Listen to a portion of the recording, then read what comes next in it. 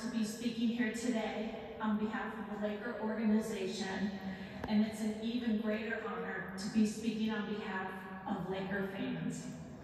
There are many things for which I am thankful to my father. Near the top of the list is what he declared to Kobe, I want you to be a Laker for life.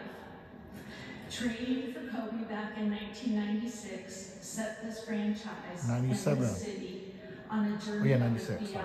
our wildest dreams. We all know the numbers tell a story.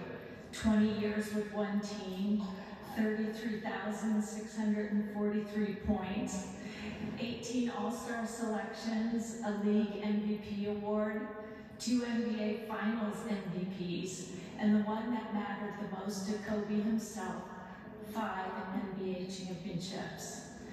Every one of them achieved in Lakers purple and gold. Those points, those wins,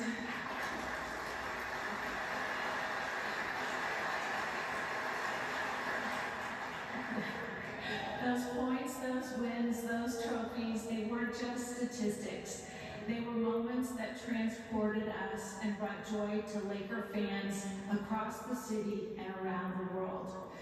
I spent almost my entire life around sports, and I can tell you I've never met or witnessed anyone like Kobe Bryant. Everyone who watched him play the game knows he did things on the court unlike anyone